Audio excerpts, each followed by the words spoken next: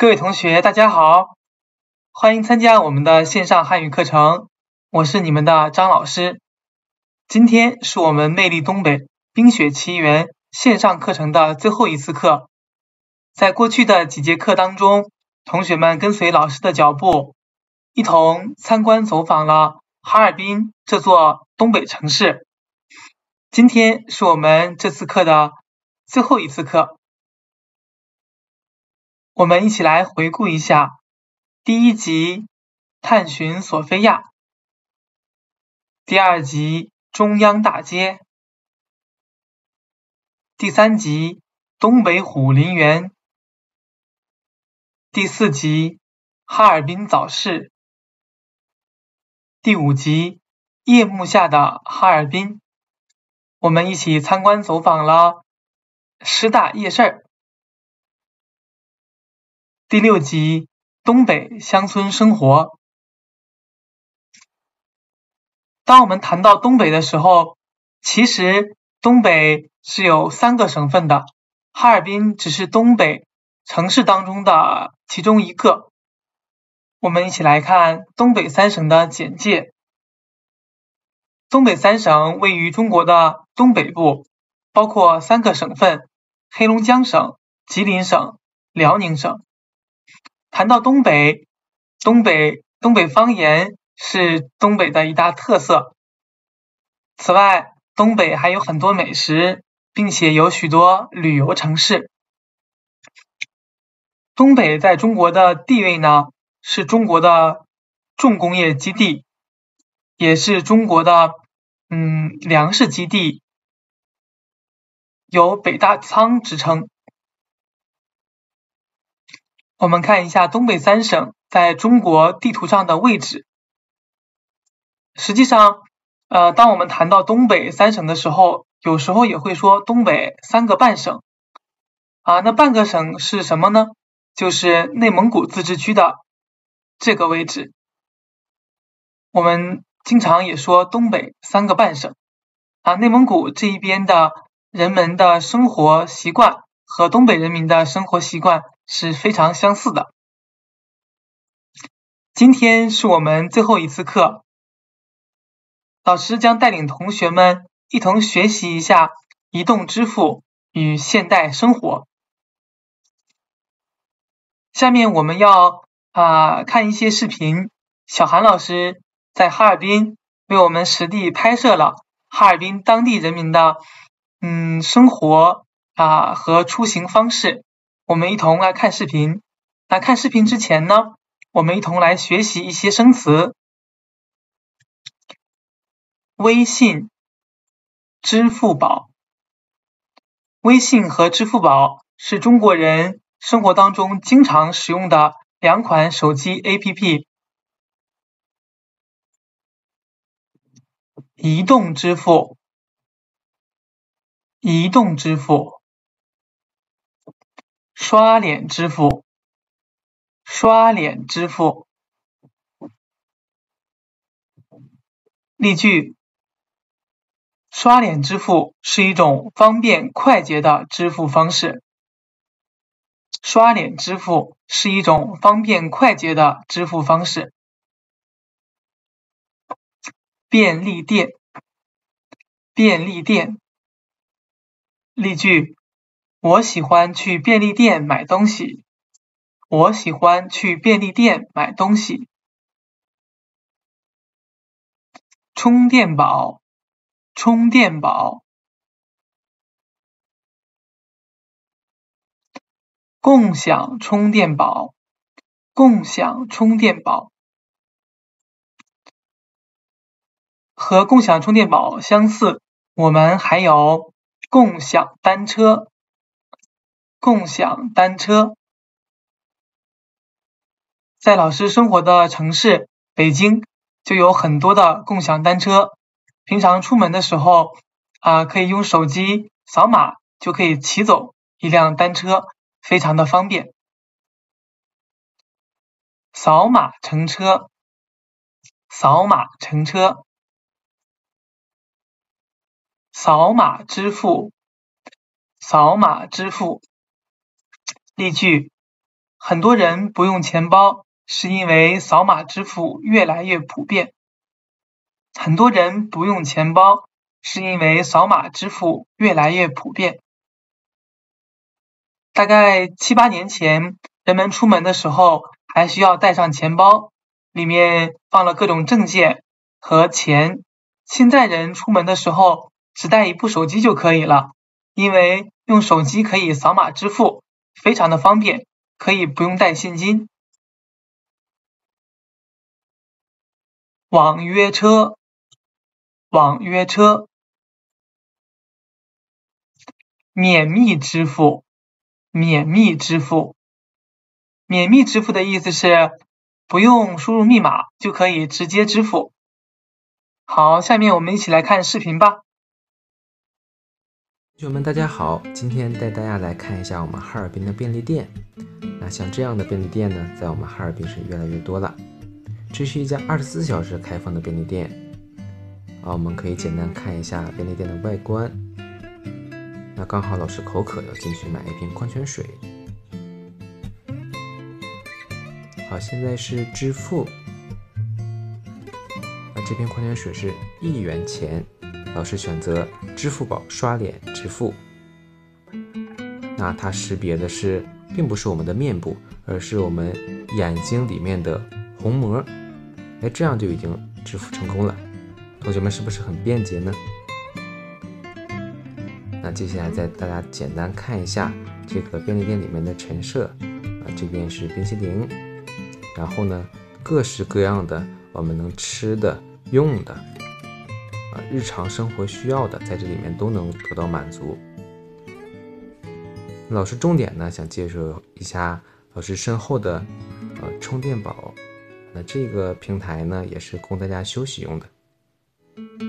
这是美团的支付宝的机器。美团这个 A P P 呀，也是我们经常用到的，吃喝玩乐都能满足我们。这两台机器就是呃这家便利店自主经营的，叫做二十四小时守候的一个啊租借充电宝的一个机器。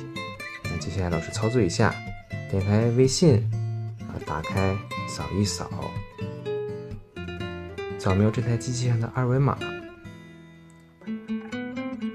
开始进行租借，那它是适用于我们所有手机的充电线，都都可以的。哎，重点是每三十分钟只需要一点五元。当我们出门啊没有带充电器的时候，哎，如果遇到了这样的充电宝租借是很方便的。那像现在在很多的商场、超市、饭店啊都已经有了。操作也是很便捷的，啊，简单的确认，然后呢，支付密码，啊，输入支付密码，哎，大概这样就可以租到了。好了，我们看这台机器上面闪烁的这一个充电宝，也就是刚刚我们租到的，看一下，它的正面是这样的。翻过来，后面是数据线，那分别是华为的 Type C 口，还有苹果的口，还有呢安卓的口。那老师的是第三种，安卓的。好，已经插上了，按开开关，然后就已经开始充电了。这个界面上显示的是正在充电，啊，四十多个电。对了，前五分钟是免费的，啊，现在显示的是租借中，啊，三分钟了。那有的时候它会在这个界面上显示我要归还，啊，点击之后再归还。那这一个充电宝呢是直接拔下来插到机器里面就可以了，是用这头黄色的，哎，对应到里面的正负极，哎，放回去呢，它们就可以充电了。按照箭头的方向，我们看到指示灯亮了，啊，归还成功。那这个时候呢，啊，我们手机的界面上也显示了，呃，订单完成。嗯，已完成订单。最后呢是用到的是零元，因为我们还不足五分钟，只是想给同学们展示一下。好，今天的介绍就到这里，同学们再见。同学们大家好，今天带领同学们来体验一下我们哈尔滨的地铁。那这是地铁的外观，以绿色为主，建筑呢也是采用了欧式的建筑风格。这一站呢是气象台站，是地铁二号线的始发站。那这里面有首班车和末班车的时间，分别是六点和九点半。我们一起走进地铁里面看一下。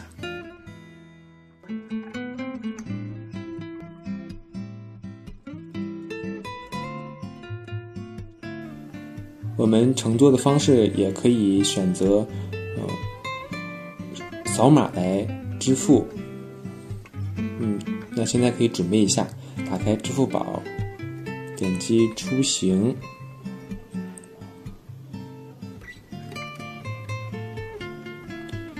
呃，老师的手机呢，可能是年头比较久的，所以反应比较慢。呃，再加上外面天气比较冷，所以它的反应就慢了一些。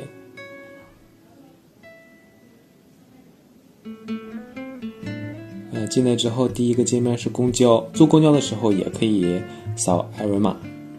然后第二个是点击地铁，啊，一会儿我们就可以直接刷码进站。好，我们一起往里走。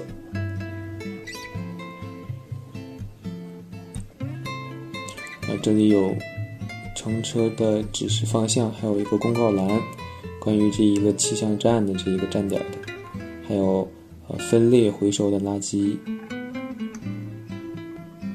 这是比较大的，呃，消防消防用的。这里是出站的，呃，站点周围的信息。这个毯子呢，呃，因为疫情也是用作消毒的，大家可以走在这个地毯上，也是在冬天的时候防滑用的。呃，进来之后呢，呃，是一面是乘车的，一面是可以去买票的。呃，这里面还是很大的。大家可以简单看一下，然后我们再近距离看一下关于买票的。呃，左面这些呢都是可以，呃，有七种方式，啊，七种 A P P 来，呃，扫二维码来支付这种便捷的支付方式。这个是票务守则，那主要看一下价钱吧。呃，起步呢是两元的，呃，六公里以内都是两元，那呃，十公里是三元，十四公里是四元。二十一公里是五元，二十八公里是六元。那从二十九公里以后呢？每增加十公里，涨一元。还有一些其他的规则。那这是自动售票处啊，大家可以在这儿通过现金或者是扫码支付的方式购票。这上面是气象台这一站的票价表。那目前气象台可以去到最远的票价是七元。我们可以看一下地铁的线路图。灰色的是暂时未开通的三号线，啊，正在试运营，马上就开通了。然后我们这是呃过安检的地方，啊，过了安检，这是呃进站口，来扫码的。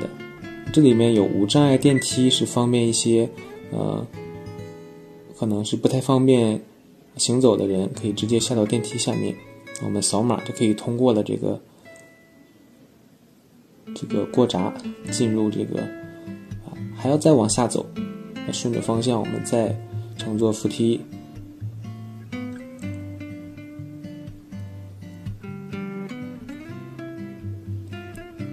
二号线呢是刚刚开通不久的，啊是九月份开通的，所以里面还是比较新的。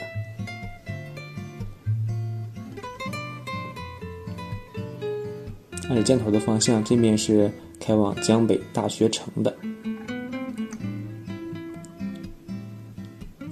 那现在就有一班车在这里。老师为了给同学们介绍，老师就不坐这一班车了。上面有屏幕来显示车站的信息。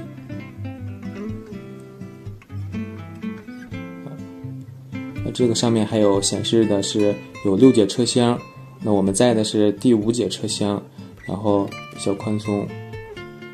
这是哈尔滨市地铁的线网图。红色的呢是一号线，绿色的是二号线，黄色的是三号线。目前开通了啊这三个线路。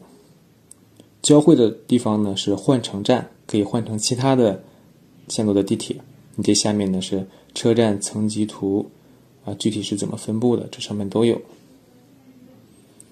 那可以看一下里面的装修风格，还是很漂亮的。这个是哈尔滨地铁二号线的行车示意图，啊，每一个站的信息都在上面，是中文和英文的。呃，黄色跟红色的地方分别是换乘三号线和二号线的车站。好，我们上地铁了，上面是一个呃线路的示意图，里面呢是很长的，上面有把手。那值得一提的是，二号线刚刚开通嘛，它的这个座椅是很智能的，是加热的座椅，啊，一坐上去会感觉到很热乎。这是车厢内的大概的环境。二号线呢是过江的，我们看到的那个蓝色的是松花江，嗯，这一个工程是比较啊比较费劲的，是很难的。哈尔滨的地铁也是整个中国首座啊具有高寒的这种呃铁路系统的城市。这是一个宣传哈尔滨的。景点儿有索菲亚，下面是太阳岛。太阳岛东边冬天的时候啊，有国际雪雕艺术博览会。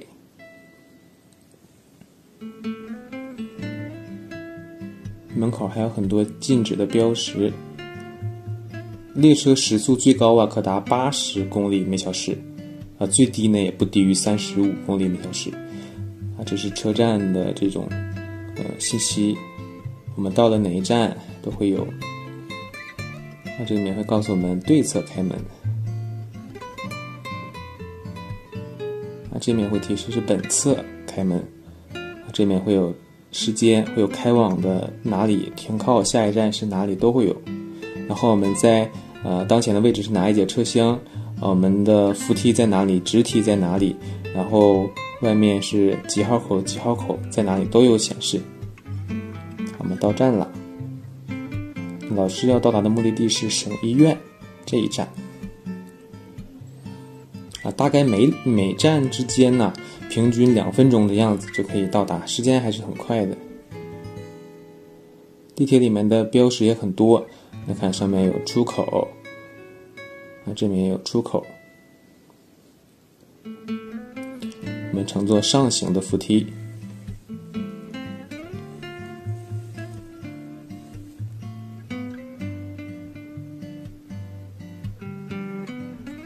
那还需要来扫二维码来出站，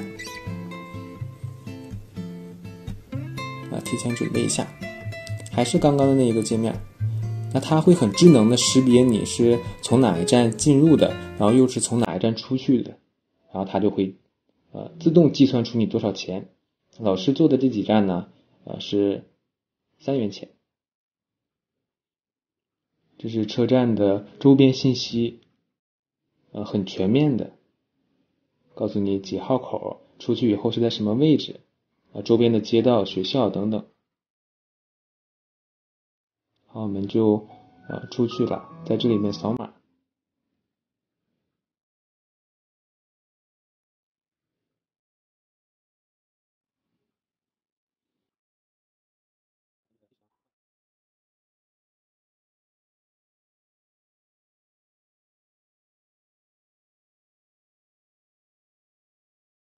高峰期的时候，每五分钟就一班车；在平峰期的时候，十分钟一班车，也不用着急赶不上车。你看，大家看厚厚的门帘，挡风用的。好，我们直接出站了。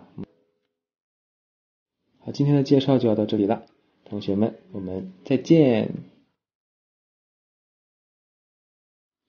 同学们，大家好。今天为大家来介绍一下我们的智能出行网约车。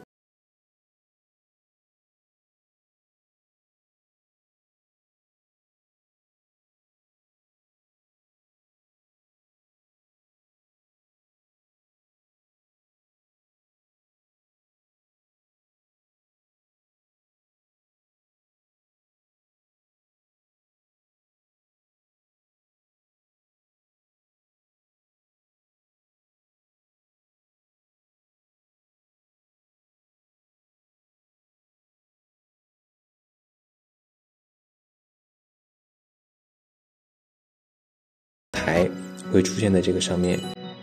每个平台他们的收费标准不一样，所以价钱也不一样。那我们可以选择便宜的，呃，先把所有的都勾选都取消，然后再从呃便宜的开始选择几个呃平台，选择八元和九元的，点击立即打车，订单发送出去啊，就等待有接单的司机。啊，我们看到很快就有司机来接单了。这是一个呃 BOE 经济型的这一个平台，那这个平台的司机接单了。呃，我们看见他离我们还是很近的，有三百多米。在这个界面上呢，会显示呃司机师傅的他的车辆的信息。这是一个丰田威驰的这一个车型。车牌号是 U 八五九，后四位。我们可以给司机打电话和发消息，在这个界面上，我们看到司机师傅呃很快的离我们的距离越来越短。啊，这次很幸运打到的司机呃离老师很近，有的时候呢会距离一点几公里或者是两公里都有可能。快到了，我们出去。平台会优先分配距离近的司机啊，会优先接单的。有的时候司机会打电话来确认你的位置和时间，确认我们的定位是否准确。我们看车牌号来核对一下这辆车是否是老师要打的车。呃，是的，丰田。好，上车。然后司机师傅这边要输入一下老师手机的尾号，嗯，零四一九，啊，就像对暗号一样，啊，就可以开始了。系一下安全带，准备出发。